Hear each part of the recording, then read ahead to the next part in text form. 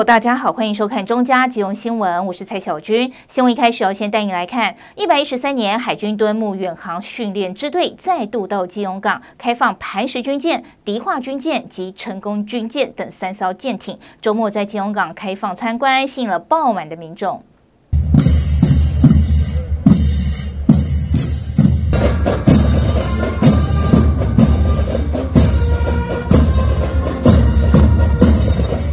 海军一一三年敦睦远航训练支队这次那边磐石军舰、迪化军舰以及成功军舰等三艘舰艇，三月十六号以及十七号两天在基隆港开放参观，第一天就吸引爆满的民众排队参观。海军也特别的规划敦睦支队实施环岛航行训练，借由开放参观、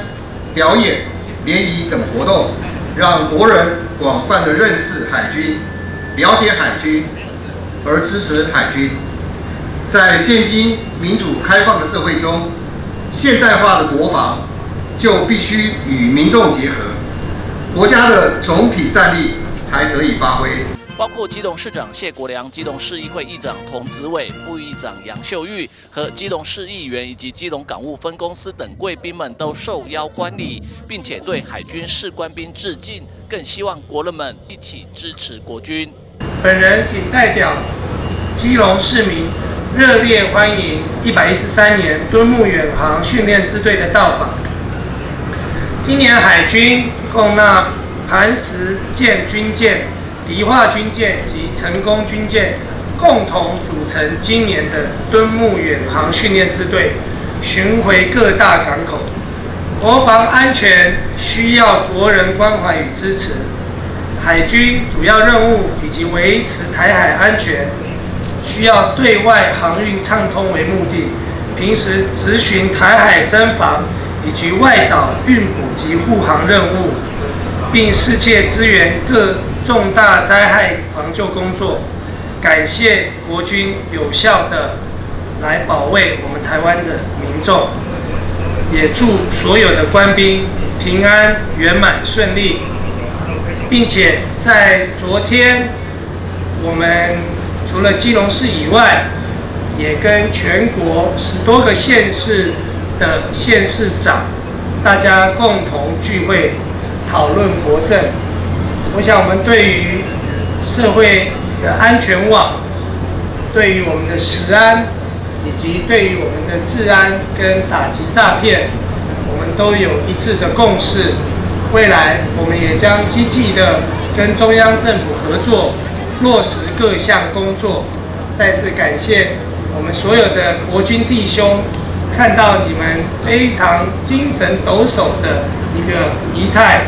深深的为中华民国国军而骄傲。基隆市议会向海军致上最大的欢迎，还有向海保卫海疆的官兵们致上最崇高的敬意，还有完全没有上限的支持。军民亲，国家强，国防无忧。我们海军敦睦的两天启程，但对海军的支持还有理解，是我们每一位国民，还有每一位基隆人，每一天都可以做到的国防工作。最近台湾的海防并不平静，我们面对不同面向的灰色地带骚扰，还有内部的裂解，许多时刻都是国军挺身而出，为我们的安居负重前行。我们都知道，战争的成败在于心战，抵抗意志的坚定与否，人民是否对国军的支持，影响国家安全甚深。基隆是海防的重镇，北方海疆的门户。身为负责任的民意代表，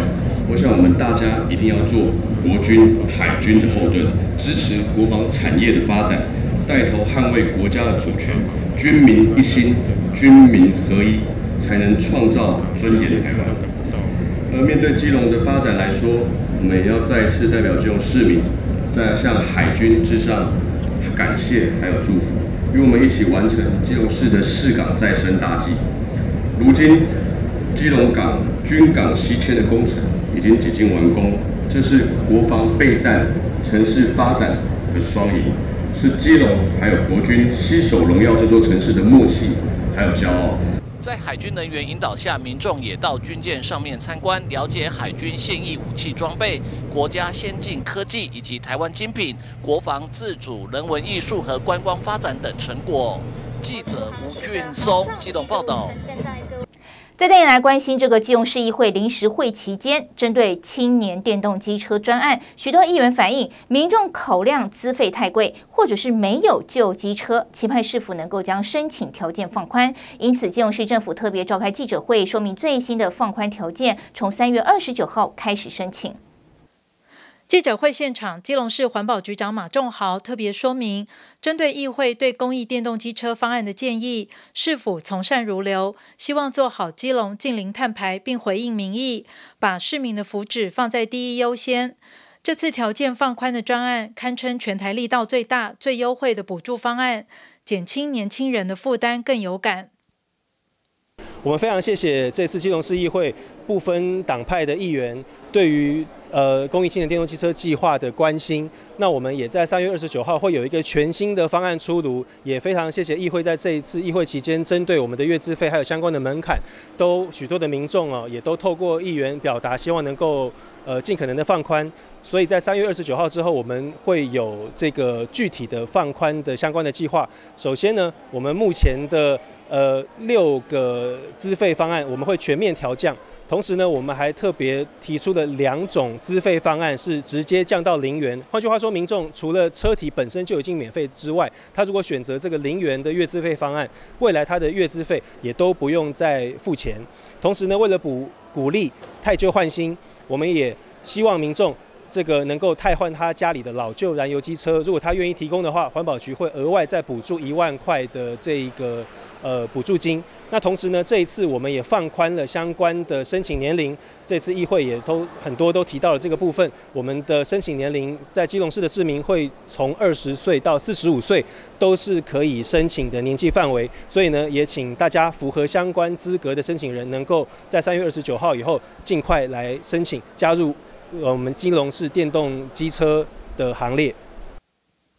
这次也邀请到出生于基隆八斗子、粉丝超过五十五万人的新生代 KOL 许悦担任活动代言人。他觉得这次的放宽条件相当有感。对我自个人是觉得呢，真的是非常的幸运，基隆的孩子们非常的幸运，因为啊，在其他的县市都没有这样子的优惠，所以呢，我觉得基隆的孩子们一定要赶快去申请。就是，嗯，因为很多人都会骑机车上学啊，或者是到各个县市去旅行之类的。那基隆市推出的这个方案，真的非常适合年轻学子们。基隆市环保局长马仲豪也特别强调，很多年轻人反映没有旧车可以汰换，因此这次也放宽了这个部分。我们在过去的计划，我们有一个条件是，大家要提供一辆这个老旧的燃油机车，在三月二十九号之后。无论您家里有没有燃油机车，您都可以来申请电动机车相关的补助方案。但是如果您家里面有一辆燃油机车是可以太旧换新的，那环保局会额外再补助一万块的太旧奖励金。如果民众想要知道最新的公益青年电动机车补助详情，可以洽询环保局的服务专线。记者黄日升、陈淑平基隆报道。二零二四大选过后，北台四县市合作交流平台再度召开。台北市长蒋万安提出儿童保护七加一政策，获得基隆市长谢国良、桃园市长张善政及新美市长侯友谊共同支持，期盼地方与中央一起携手努力，消补社会安全网。邀请四位市长，我们共同拿着凝聚特色的礼盒，看一下我们前方的摄影师。会议前，台北市长蒋万安、新北市长侯友谊、基隆市长谢国良及桃园市长张善政互赠伴手礼。历经一年的时间，基北北桃市县市合作交流平台再度召开。今年以气候变迁及调试为主题，设定八项合作方案。轮值主办的台北市长蒋万安说明相关合作成果。呃，值得一提，在交通组。我们有减碳存折，这边也要非常谢谢我们四县市的交通局啊，捷运公司，大家共同开会讨论，所以届时我们四县市会在四月一号开始哦正式串接。台北是我们去年下半年开始实施上路之后，得到的反应跟成果非常好，所以我们希望把它扩大到四县市，刚好结合去年一二零交通月票的相关运具，哦，所以我们希望未来。像台北市，我们结合悠游付，然后一打开，只要搭乘捷运、公车，使用 U Bike，哦，直接累积点、累积里程数，就可以换算你累积减碳的这个数量。所以这些，我认为都是跟市民朋友息息相关，而且能够确实达到我们对气候变迁之后相关因应及调试，啊，希望逐步的达到二零五零净零碳排的目标。另外，今天的消防组，我们也特别针对哦跨县市浅市灾害的通报机制。好，我想之前哦不管是大火。浓烟飘至台北市，我们即刻的改善了 SOP，建立了更完善的机制。配合近零排碳的会议主题，基隆市长谢国良也宣布最新的基隆电动机车方案，将扩大适用对象，并增加补助额度。基隆市为了推动电动机车的使用率，促进近零碳排的转型，我们宣布从。三月二十九号起，基隆市政府加码补助电动机车方案，不仅让青年朋友免费的把电动机车骑回家，更寄出月资费最低只要零元，太旧换新更可以领取一万元的奖励金。机车是我们台湾民众。最习惯也是最熟悉的运具。当然，为了要达成近零碳排的生活方式，在大众绿色交通的建制上，我们也会努力的来加速，让基隆市可以成为近零碳排的典范。桃园市长张善政则肯定基北北桃市县市合作交流平台的做法，他也以桃园市政府运用人工智慧数位治理。解决工地扬尘的创新做法，透过平台将让政策效果加成。在这个大规模工地，大风吹过来扬尘很严重的时候，我们可不可以用人工智慧的方式来进行洒水？我们用这个空气的侦测和这个影像侦测，在第三行下就做了一个自动洒水。如果说扬尘比较严重的时候，自动洒水，扬尘马上就会被压抑住。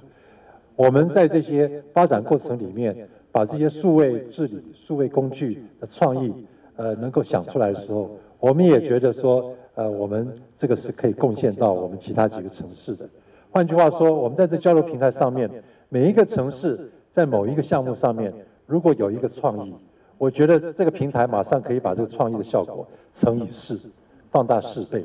另外一方面，呃，过去的经验。呃，如果说可以彼此借鉴的，马上可以透过这平台扩散出去。新北市长侯友谊则提出，包括环状线、基隆捷运及桃园捷运局线等跨县市捷运案，强调新北市将负起责任，让北台四县市民众都能享有快速便捷的交通服务。我们跟台北市一直合作的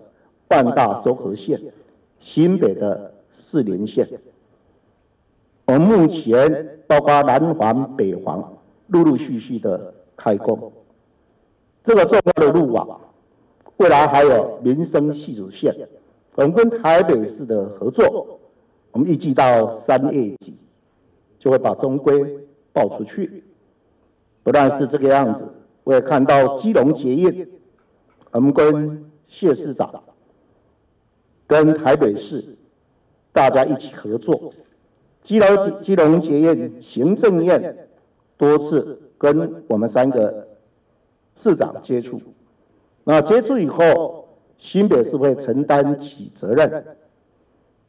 不但承担起责任，会在先期的规划设计当中，慢慢的陆续的展开，希望基隆捷运我们能够快速大家一起合作，把它建立完成。不然这样子，我们跟桃园市张市长，我们的三英线拉到桃园达德这一段，在三月一号，交通部已经核定，要报到行政院来同意。那新北市也会跟桃园合作，新北市会承担起新建的责任。另外，针对近日引起大众关切的虐童案，强调没有人是局外人的台北市长蒋万安特别透过这项市县市交流平台会议，提出儿童保护七加一政策。我们包括新北、桃园、基隆啊，共同的支持，大家也会全力的四县市共同来推动七加一守护计划，包括我们共访机制，包括全日托儿童。的守护，也就是增加访视的频率。那另一方面，我们对于出养后、收养前、中期安置由保姆收托，保姆的各项要求标准要比照这样家庭。好，另外也建立优质保姆家长推荐平台。我想这些我们在七加一计划，大家共同努力，也会全力的来推动。这项强化修补社会安全网的政策，也获得基隆、桃园及新北市三市市长大力支持。由啊北市府提出的七加一方案，我们非常的认同。基隆市也有非常多的保姆，未来需要做优良的评鉴，必须要关怀这些保姆的身心状态，希望能够再让他们可以跟孩子多更有爱心跟耐心。这也经过需要未来的一个训练，这些都是在我们今天的七加一方案里面的内容。那我们会按照今天的会议结论，积极落实，未来让孩子的照顾，我们会把它做得更好。在最近这个呃深坑那边的大火，呃污染跨境的污染，还有这个虐童事件，这些突发事件。我想台北跟新北在里面都学到非常宝贵的经验，这宝贵的经验也透过这个平台，呃，扩散出来，让我们能够未雨绸缪。我想这个呃，不管呃这些事件呃已经过去了，但是我觉得最重要是从里面学到宝贵的经验，让将来如果再有突发事件的时候，我们可以有非常呃万全的准备。所以这个是一个非常宝贵的交流平台，我们也非常珍惜这些经验啊。台北市。已经拟了一个七加一守护计划，我们大家竭力及北北桃共同的支持。那其中有关三方共法机制，强化我们的社工的访视以及危险的辨识能力，这个非常的重要。那这样的一个合作的经验，我相信我们会跟中央做好充分充分的沟通跟讨论。尤其在服务面跟法制面，能够把有所不足的地方，把它做得更完备，呃，这是我们一致性的一个态态度。四位市长也期盼从基北北桃四县市开始做起，面对问题解决问题，并与中央一起携手合作，不让这样的悲剧憾事再度发生。记者张启腾台北报道。针对谢国良面临罢免事件，除了民众党主席柯文哲受访回应法律问题不要政治解决外，台北市长蒋万安跟桃园市长张善政也都提出他们的看法，带您一起来关心。针对谢国良面临罢免的看法，民众党主席柯文哲受访回应：法律问题不要政治解决，有产权争议就由法律去解决。如果这件事情要去搞罢免，不具正当性。而除了民众党主席柯文哲表态认为罢免谢国良这件事情不具正当性之外，台北市长蒋万安跟桃园市长张善政也都提出他们的看法。我觉得就事论事，哦，其实任何事实把它厘清，不需要做过多的政治操作。我觉得法律的事情、法律的问题让法律去解决，不要泛政治化。这个发起罢免，哈。的确是浪费资源，这个我们充分的同意。啊，我们现阶段有很多市政的工作正在推动当中，那我们一定会诚恳的、努力的来把我们的市政工作一定要来把它做好。面临罢免案，基隆市长谢国良强调，专心市政工作，让市民看得到而且有感，这就是市长的工作。记者张启腾、黄日升、陈淑平，基隆报道。基隆市运动爱台湾今年首场健走活动在暖暖区登场，现场吸引了千位民众热情参加健走与摸彩。二一，大声一点，耶！敲响第一锣。市长谢国良亲自敲锣，由市府和体育会共同举办的基隆市运动爱台湾活动，首场的健走在暖暖区登场。共吸引超过千位民众扶老携幼来运动健走。带谁来参加健走？就想带家人一起来健走，参加这个活动，然后就可以到处走，可以可以走走，有益身体健康啊。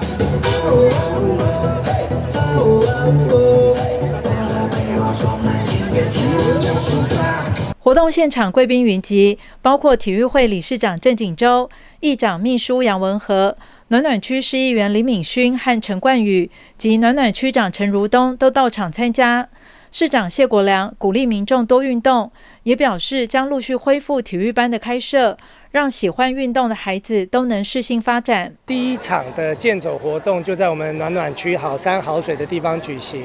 郑理事长一向都长期推动体育，不遗余力。而我也跟大家报告好消息，就是未来我们基隆将陆续恢复办理。体育班的开设不会仅限于一定要足够的学生才办，因为因应少子化的政策，所以未来我们会让孩子也有体育班的环境，大人有好的运动环境，这样大家才可以健健康康享受好的生活。我们基隆是唯一各县市唯一每一场办就有办身心障碍，包括我们这些自闭症、血压啊，而且我们的这个盲人好朋友，大家出来健走，而且我们都有。自工一系列来陪伴他们走，每一场都有，表示我们市长对我们弱势团体的照顾与爱护，所以我们要给市长加油一下，谢谢。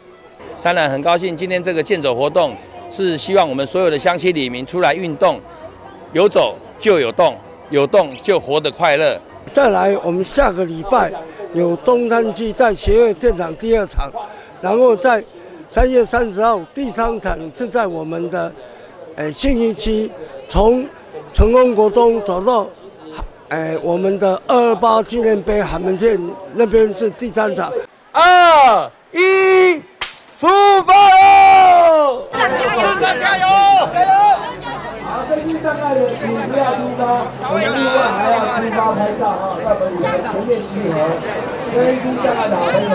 在我。超过千位的民众来参加健走过程中，许多民众也当面跟市长谢国良来加油打气。因为为了守护东岸产权，谢国良因此面临罢免的风波。台上台下不断高喊加油，替市长鼓励打气。议员林敏勋也在团体合照时为市长加油。我们挺谢市长，我们挺你。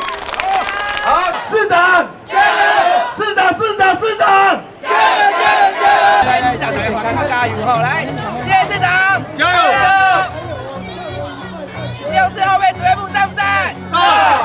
这场暖暖区健走活动，天公作美，来自各地的民众扶老携幼，踏着轻快的脚步，享受沿途风景，也感受到多运动让身体更健康。记者陈淑平接龙报道。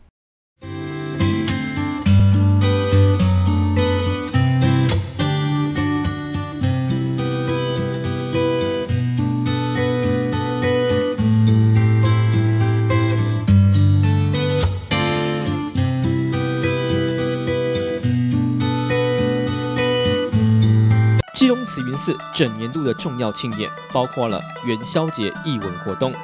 文昌君圣诞、观世音菩萨圣诞、浴佛节及祭孔大典等，无不吸引众多信众前来。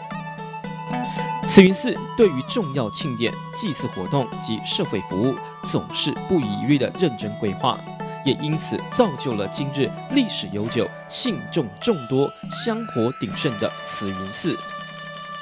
慈云寺的财神殿奉有五路财神、三清道祖与福德正神等，求财不运的香客相当多。每到财神爷圣诞，总是吸引大批信众来到慈云寺直角求发财龟，以祈求能够财源广进。慈云寺也提供了财神灯供信众认养。到了慈云寺，可千万别忘到财神殿参拜哦。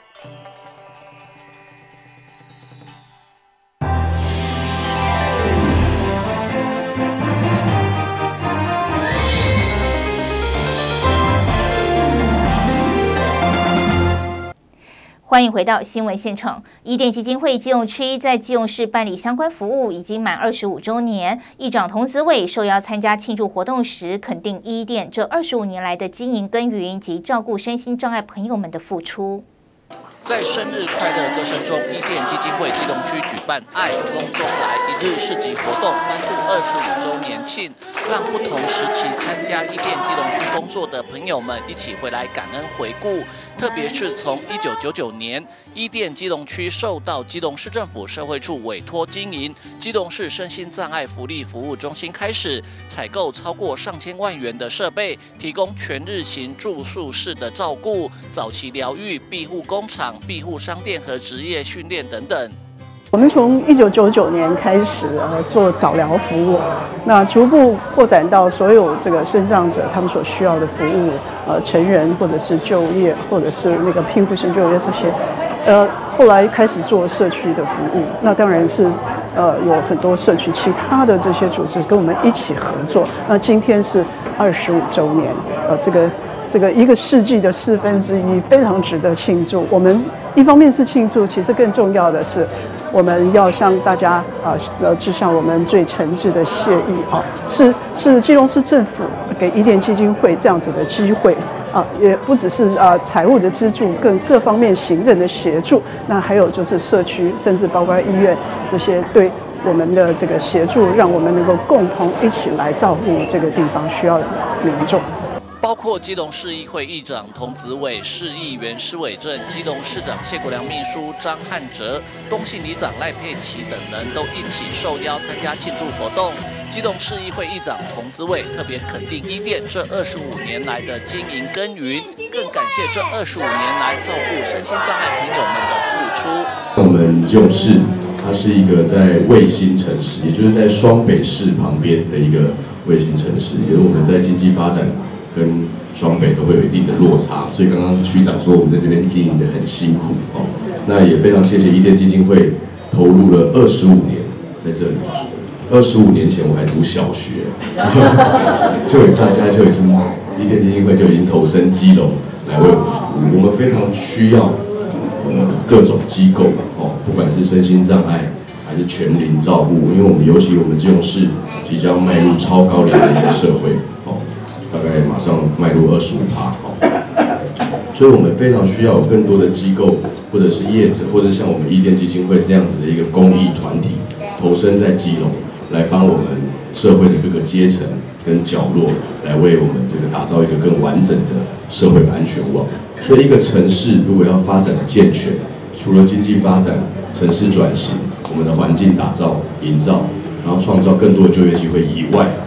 我们就是议会非常重视我们的社会服务，也就是我们在这个城市生活里面，总会有很多需要帮助的人。我们能不能把我们的老人照顾好？小孩这两天新闻很多，小孩照顾好，我们身心障碍的朋友照顾好，还是我们每一个阶层在被需要帮助的时候，我们的政府有这个能力可以伸出援手来照顾我们城市的每一个家庭？我想是我们金融市议会全体议员，大家非常重视的一个课题跟议题。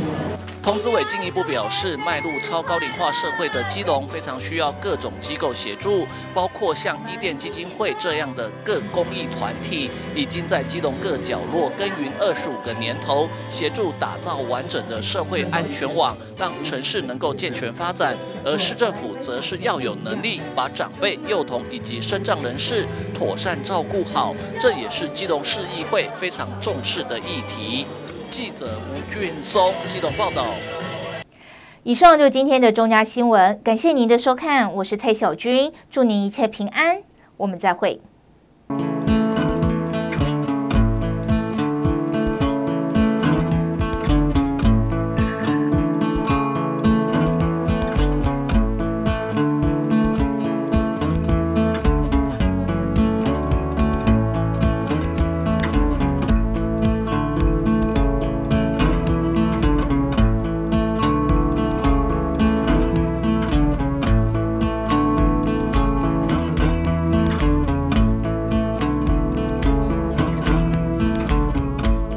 你会选购一级能效的家电，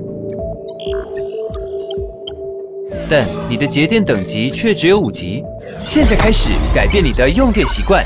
冰箱只需八分满，滤网定期两周清，冷气设定二六至二八度，玩转时间进化一级节电玩家。关掉冷气，随手关灯，白天到黑夜节电不停歇，节电从我改变。星期一多多运动走楼梯，星期二随手关灯要贯彻，星期三衣物日晒自然干，星期四定期保养勤擦。